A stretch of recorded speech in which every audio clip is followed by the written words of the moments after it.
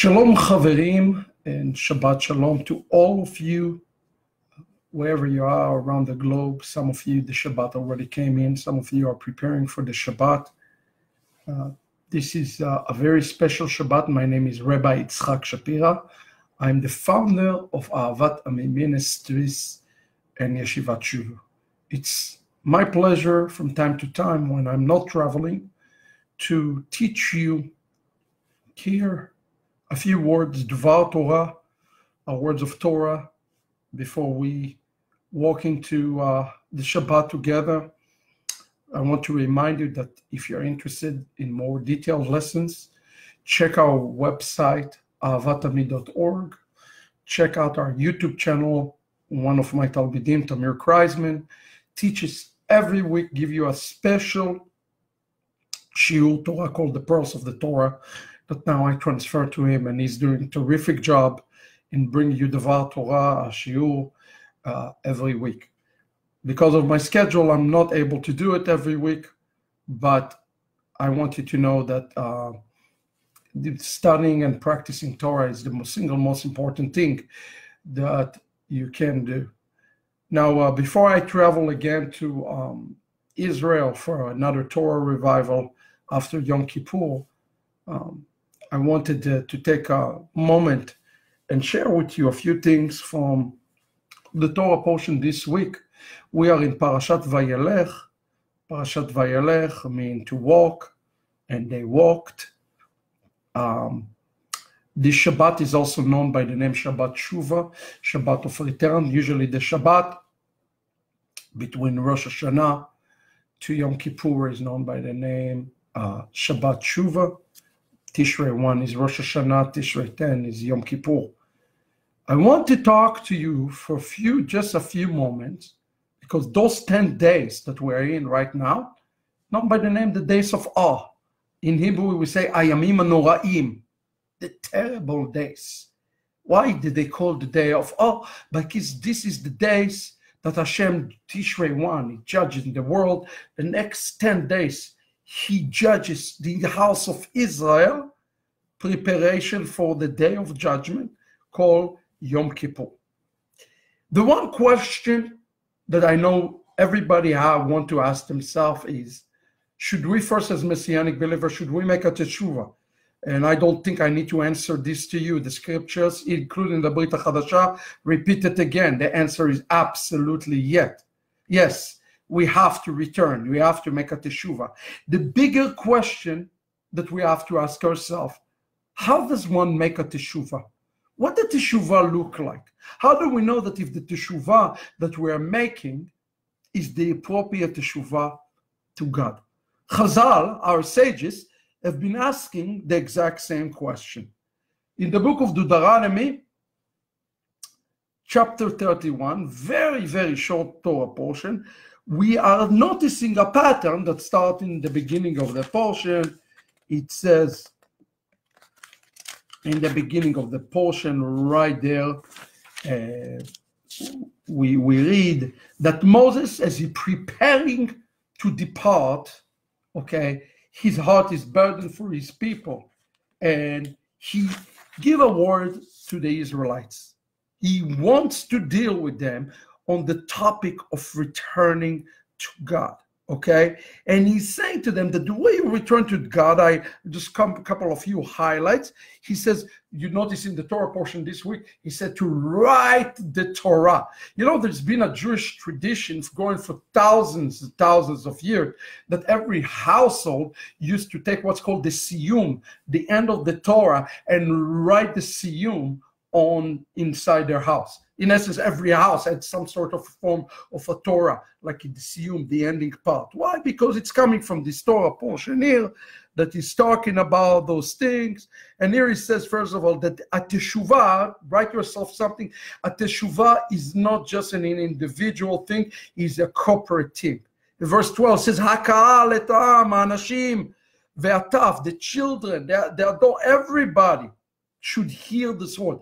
Teshuvah, as well as Torah, is a cooperative. So one thing that I want to encourage everybody to do when when Tuesday hits and Yom Kippur is here, please make sure that you go to a synagogue.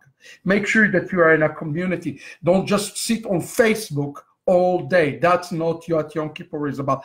A teshuva is a corporate event, just as salvation is a corporate event. I know that this sounds very strange to you, but that's exactly what Paul says in Romans 11, so that all of Israel shall be saved. Okay, he's talking about the corporate salvation of Israel. Similarly, a teshuva is something that we do together. We pray together. We say,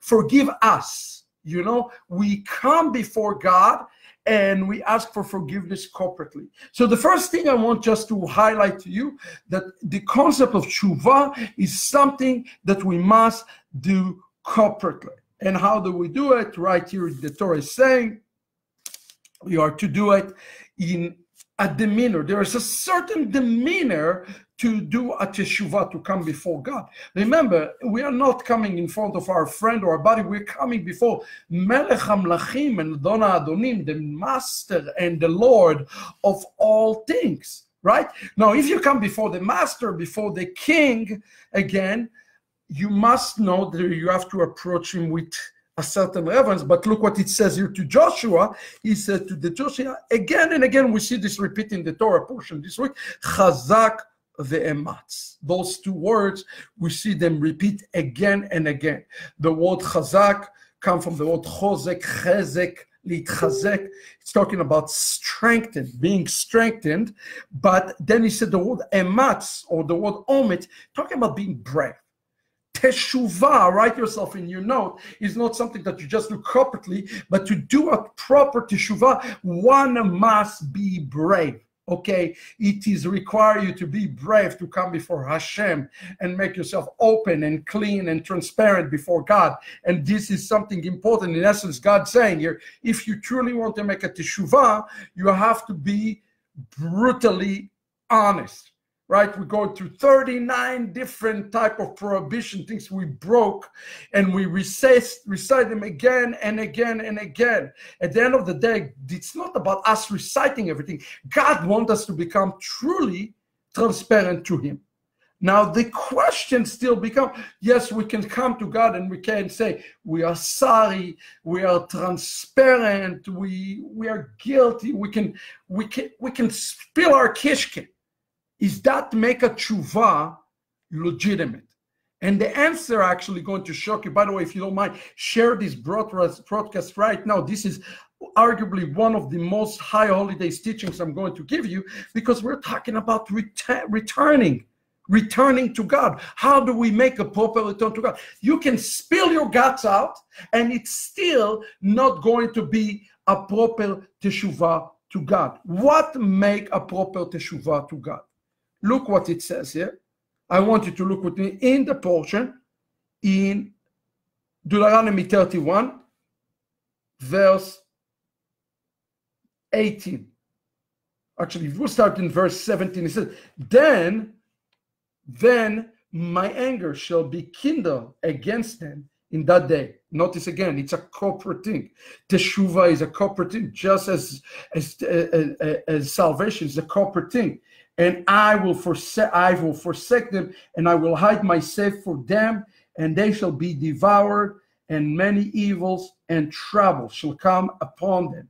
So that they will say in that day, again, the key word here is the word they will say in that day, are not these evils come upon us because our God is not among us?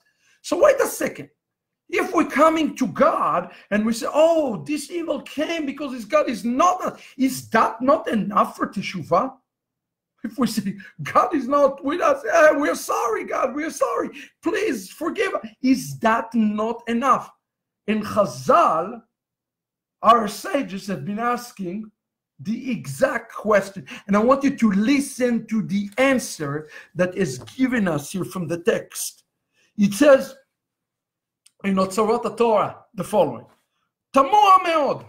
It is very strange. מאחר ובני ישראל מתעוררים, right? The children of Israel are awakening. Betshuva, just exactly what we see. They say, oh, God is not with us. We, we missed the boat. They're awakening and they recognize the sin. ומכירים בחטאם. ואומרים בפה מלא, and they speak in full mouth. God is not with us. That's why we're suffering. So why is the next verse saying, that's what Chazal said, I will hide my face from them. In essence, what Chazal are asking is, if one says, hey, I recognize I missed the boat, I am sorry, I missed the boat, why is it that God says in the next verse, oh, no, I'm not going to show myself to them. I am going to hide my face from, from them. Why is it? And then Chazal asks the question, is there anything that is standing before a teshuvah? In essence, if one is saying, I missed the boat, God is not with me, is that not enough for God? And the answer that Chazal is giving is that absolutely not. That is not a teshuvah. In essence, I want you to understand something. If you walk into Yom Kippur and to Shabbat Shuvah and you say to yourself, Oh my gosh, I missed the boat with Hashem. Forgive me, God. I want to tell you something. You might not like me. You might want to turn it off. It's not enough. It is not good enough for God. That is not a teshuvah. Please understand, this is a principle that you see right here in the Torah. And make of fact, let's continue. Nachmanides says that the teshuva in this text, again, I want you to hear this. I want you to, to hear this. Again, they will say in that day, Are not these evils come upon us because our God is not among us? Here is what Nachmanides says. He says, this type of teshuva אינה מושלמת. It is not a complete perfected teshuva, אלא ערעורי דברים. What is the word ערעור in Hebrew? It's thinking things over, is mulling things over. That is not a teshuva. And this type of teshuva will cause God, he said, akadosh baruch hu yastir panav mehem. This type of the teshuva will cause God to hide his face from them. If you're coming before God, according to Nachmanides, and you say, I missed the boat, that is not a teshuvah. That's mulling over and thinking over. That God says, I will turn my face from you so that you will make a real teshuvah. So the question becomes, what is a real teshuvah? What a real teshuvah look like? We're going to get there. One, one minute.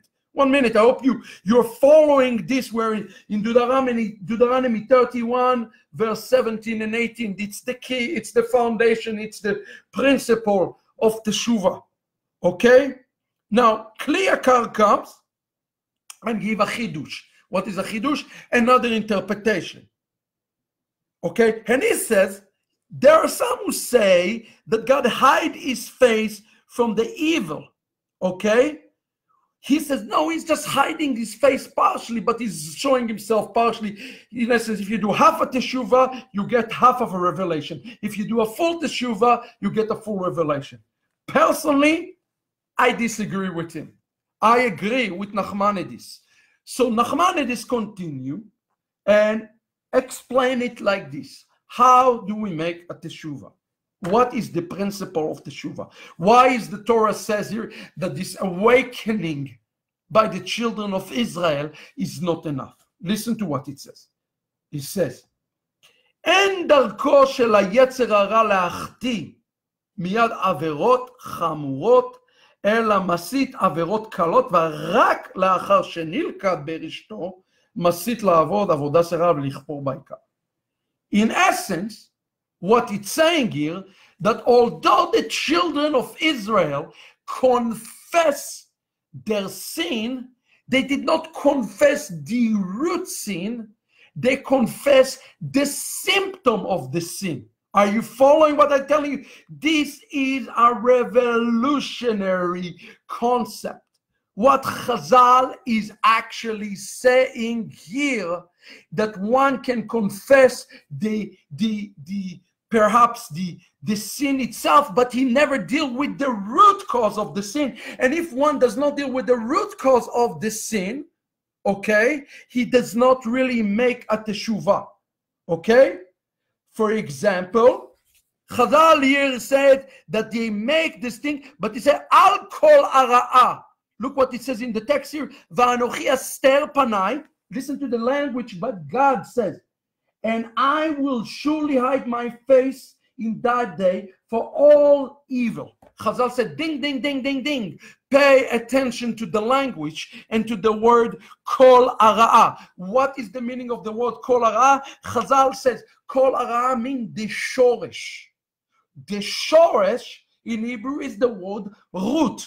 It is truly dealing with truth. What, in essence, God wanted them to confess is not the sin that they're committed now. He wanted to, to commit it, to, to, to confess the source, the root of the sin. And only when they have done that, okay, then a real is being taken. Are you following what I'm telling you? If you want to make a teshuva today, don't just come to God. Don't just go to your brother and say, Oh, I speak against you, Lashon Hara. Don't just come to God and say, Hey, I cheated. Seek your heart. Ask the question what is the root cause of those things? Ah, I know this is challenging. It's not easy. It's much easier to say, Oh, I'm sorry for this, I'm sorry for that. That's one thing to say, I'm sorry for this and I'm sorry for that. It is another thing to seek deep and ask God, What is the root cause of all of those things? Are you following what I'm telling you? So it says, It's really, truly mean the root cause of the evilness that have been done. So, how should we approach Shabbat Shuva? How should we approach our relationship with each other? How should we approach uh, uh, Yom Kippur? It's simple. Don't look in the surface. Oh, I am fasting.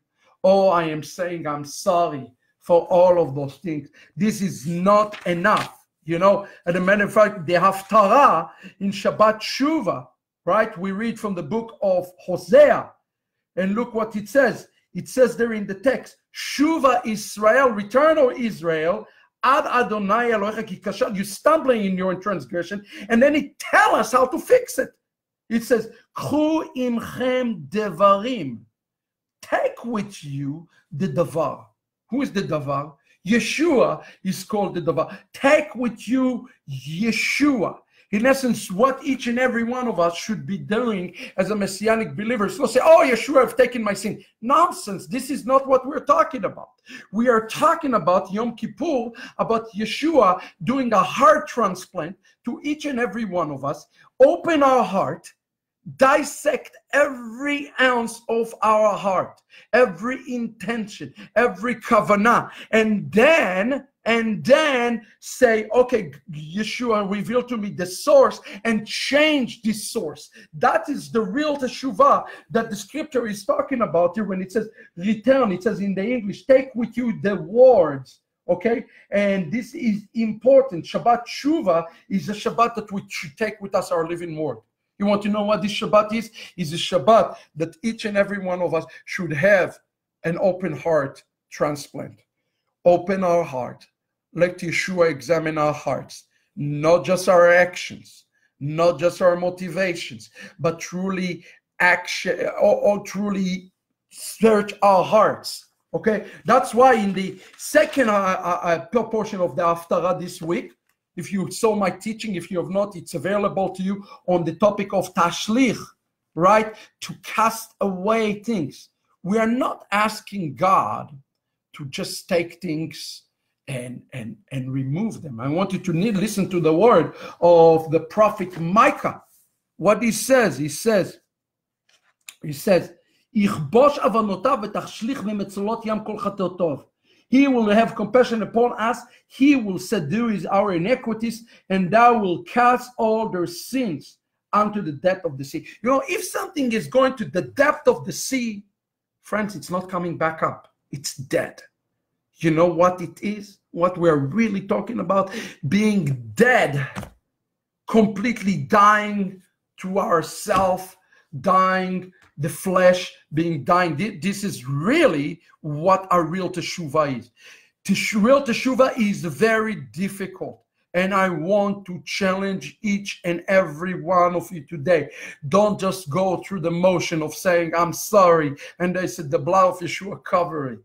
Ask for God. Here is the way you know if you receive new, uh, if you receive true, if you've done to true Yom Kippur, true Teshuvah, even Shabbat Shuvah.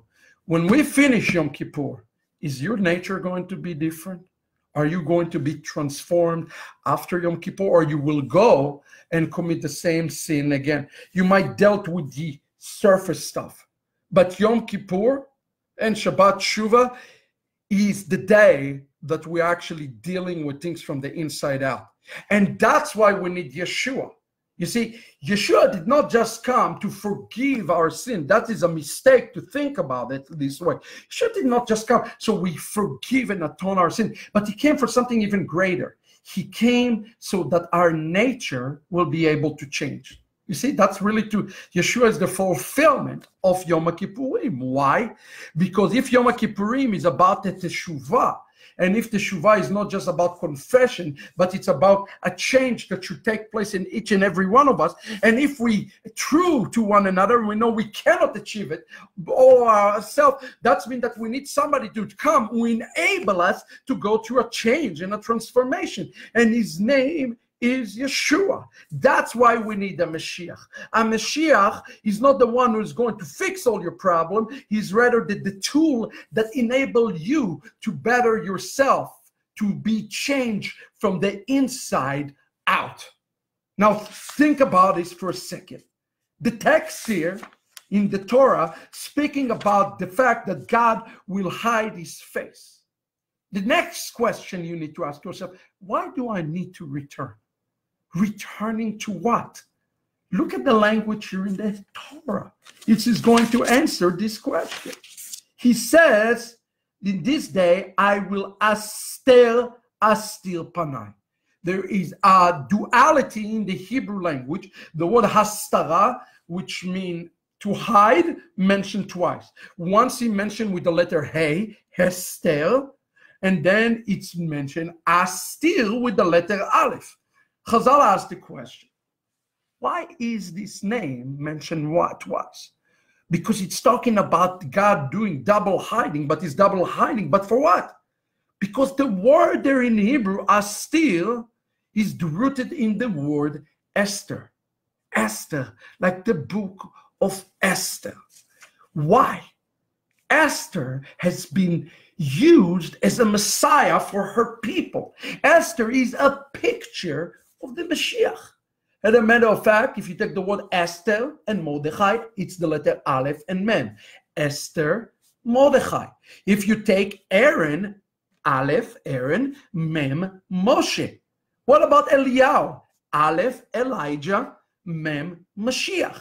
In essence, God wants us to go through a process of change and transformation because He wants to make you the messianic figure. I want you to understand this. I know that might sound to you heretical, but that is not my point. That is not my heart. The point of the matter, God wants in each and every one of us to go through a process that we ourselves take the image and the form of the Mashiach upon ourselves. Who is the real Mashiach? You and I. We are the Mashiach. You know, you're the Mashiachim to your parents, to your children, to your grandchildren, to the families, to the world to come. They're not going to see Yeshua. They're going to see you and I. So in essence, he said, Hester astir. There is a, a remes in the Hebrew language that he said, I want you to go through a process of self-cleansing from the inside out so that you will change yourself to the image like Esther, which is a representative of the Messiah of Israel. You understand what you are talking about now? Each and every one of you need to ask the question, God, why do you want me to repent? Is it just for the salvation? Is just for salvation? And the answer is, of course not. The answer is found right here in this thing. God want to raise in you an Esther. God wants to raise in you a Mashiach. God wants to raise in you a redemptive figure to the world around yourself because that's what the world needs.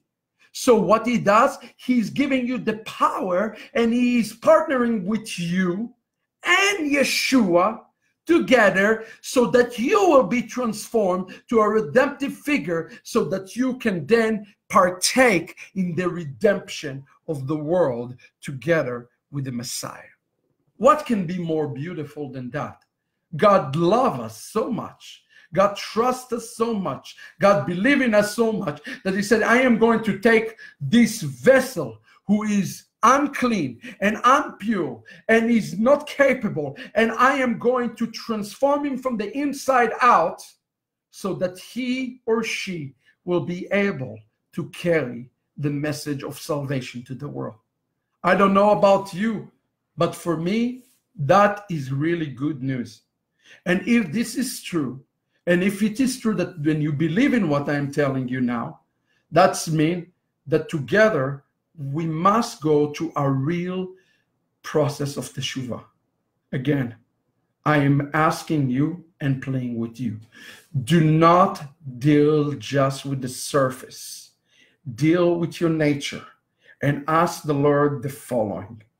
I will pray for you right now, wherever you are, and agree with me in prayer as we walk into Shabbat Shuvah. Abba, in the name of Yeshua, just repeat after me. In the name of Yeshua, I'm asking that you change my nature. Don't just change my actions, but change my nature from the inside out. Lord, thank you that I am a new creation through Yeshua. And thank you that my nature is being changed and transformed on a daily basis so that I will be a vessel of redemption to the world around myself. Lord, I gladly stand and declare that you have created me to be a Messiah like Redeemer to the world around myself partner with me, use me, change me, and cleanse me. For your Geulah is near, for your redemption is near. In the mighty name of our Messiah, empower me. Amen and amen. Friends, it's not easy, but Yeshua is the tool that allow you to do this.